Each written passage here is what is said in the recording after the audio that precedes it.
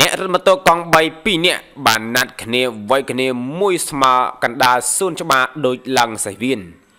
យប់មិញនេះមានករណីមួយបានបង្កមានការភ្ញាក់ផ្អើលយ៉ាងខ្លាំងព្រោះតែរឿងចង់បានមួយយកទៅដឹក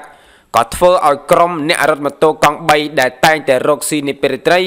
នៅត្រង់ចំណុចរវងមូលគួយកណ្ណងនាំគ្នាបែងចែកទឹកដីនិងដណ្ដើមមួយគ្នារហូតคล้ายទៅជារាជធានីភ្នំពេញ បើតាមសេចក្តីរាយការណ៍បានដឹងថាយប់មិញនេះមានករណីមួយបង្កឲ្យមានការភ្ញាក់ផ្អើលយ៉ាងខ្លាំងព្រោះតែរឿងចង់បានមួយដឹកក៏ធ្វើឲ្យក្រុមអ្នករត់ម៉ូតូកង់3ដែលតែងតែរកស៊ីនៃព្រៃត្រី នៅត្រង់ចំណុចរង្វង់មូលគួយកណ្ណងនាំគ្នាបែងចែកទឹកដីនិងដណ្ដើមមួយគ្នារហូតខ្លាចទៅជាចំនួនពាក្យសម្ដីបន្ទាប់មកក៏បបុលគ្នាវាយគ្នាមួយស្មើដូចឡើងសៃវៀនប្រដាល់នៅកណ្ដាលសួនច្បារអញ្ចឹង បង្កឲ្យមានការភ្ញាក់ផ្អើលពីវេលាម៉ោង9យប់នៅថ្ងៃទី26ខែកក្កដាឆ្នាំ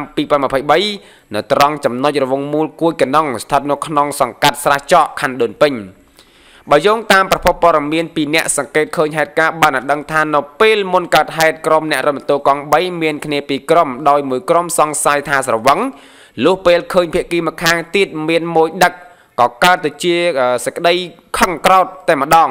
ព្រោះថាកន្លងមកពួកគេធ្លាប់តែបែងចែកទឹកដីគ្នារួចហើយស្រាប់តែឃើញបាទនៅពេលយប់កើតហេតុនោះភៀកគីម្ខាងទៀតបានដណ្ដើមម៉ួយនៅលើទឹកដីរបស់ខ្លួនទៅបរករឿងបង្កើតទៅជាចំនួនរហូតដល់បបួលគ្នាវាយគ្នាមួយស្មើនៅកណ្ដាលសួនច្បារតែម្ដងទៅ អ្នកឃើញហេតុការណ៍បានបន្តទៀតថានៅពេលនោះភេកីទាំងសងខាងវាយគ្នាទៅវិញទៅមកមានទាំងទាត់មានទាំងធាក់និងឡង់ចង្គង់ទៀតផងដូចជាអ្នកប្រដាប់នៅលើសាយវៀតអញ្ចឹងក៏ប៉ុន្តែมันឃើញមានអ្នកណាឈ្នះឬអ្នកណាចាញ់ទេទៅបអ្នកឈរមើលចូលទៅខត់តែម្ដង រួចក៏បានសួរនាំថាតើហត់ទេបាទបើហត់ហេតុអ្វីបានជាឆ្លោះគ្នាបាទអឺ អ្នកចូលទៅខត់បានបន្តទៀតថាតាមពិតសុទ្ធតែរកស៊ីដូចគ្នា ដោយសារតែលុយនិងចង់បានឈ្នះចិត្តគ្នាហើយក៏នាំគ្នាបែងចែកទឹកដីម្នាក់កំណាត់មួយកំណាត់ដោយយកបង្គោលភ្លើងមួយដើមធ្វើជាបាទសសរកណ្ដាលគូបញ្ជាក់ផងដែរថាពាក់ព័ន្ធទៅនឹងក្នុងចំនួនរវាងអ្នករត់ម៉ូតូកង់3ទាំងពីរអ្នកខាងលើនេះ មិនប៉ះពាល់ដល់អ្នកធ្វើដំណើរនោះទេដោយសារតែពួកគេ ទាំងពីរអ្នកស្ម័គ្រចិត្តរៀងខ្លួននៅក្នុងការវេគ្នាមួយស្មើបាទនៅកណ្ដាលសួនច្បារបន្ទាប់ពីហត់អស់កម្លាំងរៀងខ្លួនក៏បែកជូរគ្នាទៅផ្ទះរៀងខ្លួនបាទក្រោយពេលកាត់ហេតុគេសង្កេតឃើញថាមានកម្លាំងប្រជាការពារនិងសមត្ថកិច្ចមូលដ្ឋានចុះមកដល់ទីតាំងកាត់ហេតុផងដែរដើម្បីត្រួតពិនិត្យនិងការពារមិនឲ្យមានករណីនេះកើតឡើងម្ដងទៀតនោះទេ បាទហើយនេះគឺជាព័ត៌មានមួយដែលខ្ញុំបាទធ្វើការដកស្រង់ចេញពីខ្សែកសន្តិភាពបាទដែលពាក់ព័ន្ធជាមួយនឹងអ្នករកស៊ីម៉ូតូកង់3បាទឆ្លោះគ្នាហើយបង្កឲ្យមានការបាទពាក្យសម្ដីឌឺដងគ្នាហើយក៏បែងចែកទឹកដីគ្នាបាទហើយ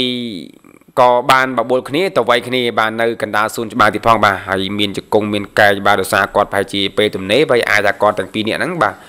ចូលនៅក្នុងកាហ្វេដើម្បីមើលបដាលក៏មិនដឹងបាទណា បាទឃើញថាអ្វីគ្នាដូចកីឡាបដាល់បាននៅលើសាយវៀនអញ្ចឹងបាទបាទហើយព័ត៌មាននេះគឺគួរឲ្យខ្មាស់គេដែរបាទដោយសារយើងព្រោះតែអាហារ3ពេលណាធ្វើឲ្យយើងបាទលុបបំបត្តិនៅអាភាពបាទបាទសុជីវធម៌និងសិលធម៌ក្នុងខ្លួនបាទក៏ក៏បង្កើតទៅជាចំនួនបាវ័យគ្នាបាទដោយគុណក្មេងបាទ ចឹងមិនគួរកើតមានទេបងប្អូនណាបាទអញ្ចឹងសម្រាប់ការអានព័ត៌មានក៏បានមកដល់ទីបញ្ចប់ហើយដែរបើសិនជាពេញចិត្តនឹងការព័ត៌មានបាទកុំភ្លេចជួយចុច Subscribe និងសញ្ញារូបកណ្ដឹងបាទដើម្បីទទួលបានព័ត៌មាន